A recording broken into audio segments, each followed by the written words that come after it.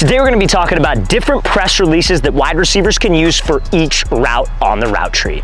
Now this first release is going to be for a fade route. How this video is gonna go is we're gonna give a press release for each individual route on the route tree that I like to use that I feel could get you guys separation. And then we're gonna show a full speed example of each of these releases. So this first release is when you have to run a fade route versus inside shade press coverage. The white cone is representing the DB, the red cone is representing my line of scrimmage. So this is gonna be a hesi, skip, and go release. So what you're gonna do is you're gonna take your back foot and you are going to kick as quick as you can behind your front foot. They call that a kick step. A lot of people will say that's a false step. It's not a false step. It's a part of the release, but it has to be fast. If it's slow, then your release is gonna be slow. We have to be patient with our feet, but we gotta be sudden with my movements. So we come off here, we kick, then the next step is a skip, and when you skip, you are going on a 45 degree angle. So the goal of this is to make that DB think that you were trying to slow play him outside, give him a move and cut back in. So when a DB sees you do that, he can sit, be patient, hold his leverage, and then we could take him on that fade route. So again, we kick behind, we skip, and then we take off and go. Now, some of you might be thinking, well, coach,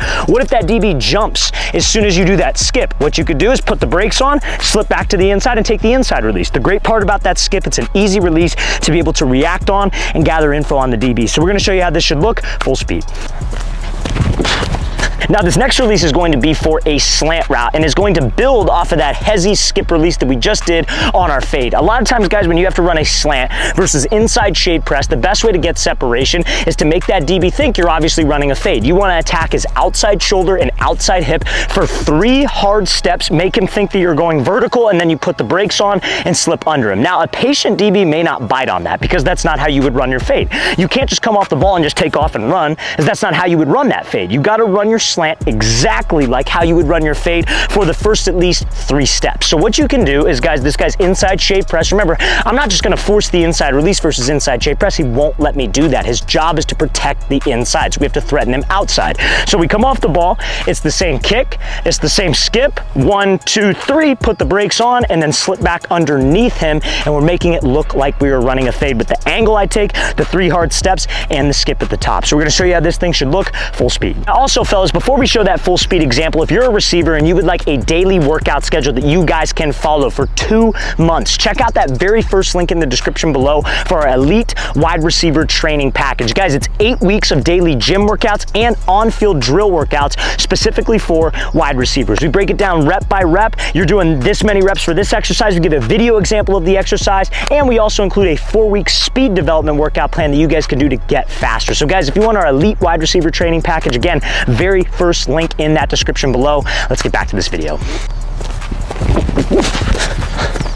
So now this next release is gonna be for a 10 yard dig or like a 10 to 12 yard post versus inside shade press. So as we know when we were just talking about that slant, you guys, if I have inside shade press, his goal is to not let me get to the inside. One of the main mistakes that a lot of receivers make is that they'll come up, they'll line up, they see inside shade press, they know they have to run an inside route like a post or a dig and they kind of panic, they try to force it and all that DB is gonna do guys is keep his leverage, get hands, get hands, then when you break to your post, you're gonna be all the way on the damn other side of the field. And we can't do that. We have to maintain maintain spacing because you're going to have other receivers inside and other defenders inside. So what we want to do is take the outside release. Now, I don't want to just take off and run because that's what this DB wants me to do. He could get hands and squeeze me to the outside and it makes it tough for me to get separation. We want to make him think that I'm trying to force that inside release to move him off his platform to give me space to the outside. So this is going to be a simple crossover release. So it could start with that same kick step with your back foot. It doesn't have to be a real big kick step, but it'd be kick. You want to step in the direction you're going first. So in this case, we want to go to the outside, so we want to step outside first. It's one, two,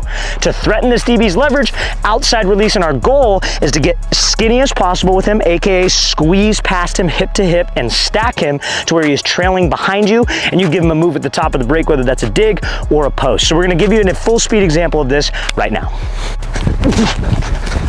Now this next release, you guys, is gonna be for a 10 yard out or a like 10 to 12 yard corner route versus outside shade press coverage. So it's a lot like running that dig or that post versus inside shade press, but now it's just flipped. So this DB's outside leverage for a reason. He doesn't want me to get to the outside or run an outside breaking route. He wants to force me inside to where he has probably some type of safety help, linebacker help, a robber dropping back, whatever it is. So I obviously wanna make him think I'm going to the outside to move him. So I get that free inside release to work to stack him. So a release that I like for this is something called called a split jab release. So a split jab release is where you take your front foot and you move it out and you move your back foot straight up. Split release, both feet make contact with the grass at the same time. The goal is to freeze the DB, but also to get a read on the DB. So we split and then we jab to attack to the outside to move him, and then we take that inside release. Now, also the reason why I like this is you don't have to do the split and just jab one time. You could split, that DB may start to inch back, try to keep some space, then you could go close the space and then go. The split helps us read this DB and react off of this DB, but I'm gonna show you how this release should look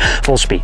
Now also fellas, if you are a quarterback or wide receiver and you would like to train with myself and my staff of coaches this offseason, we are coming out to 15 different cities across the country for two day long QB and wide receiver training camps. If you guys would like to train with myself and my staff of coaches directly for two whole days, check out that second link in the description below. We're gonna be coming out to San Francisco, California, Orlando, Florida, Phoenix, Arizona, Charlotte, North Carolina. Then we're gonna be coming out to Austin, Texas, Las Vegas, Nevada, Seattle, Washington, Chicago, Illinois. They'll be heading out to Newark, New Jersey, Birmingham, Alabama, Houston, Texas, Boston, Massachusetts, Columbus, Ohio, Boise, Idaho, and Los Angeles, California. So guys, want some more information on that? Second link in that description below. Let's get back to this video.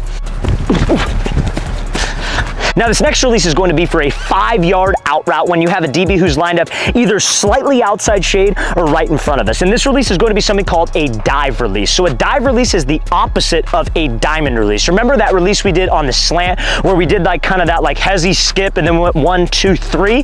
So it's essentially those three steps. A dive release is only two steps, but you're going at the DB's inside hip and inside shoulder trying to make him think that you are running a drag route where you just have to get in front of his face to get him to commit and then we could slip back back to the outside. So again, guys, you're in your stance, set, go. You're almost gonna pivot off of this front foot.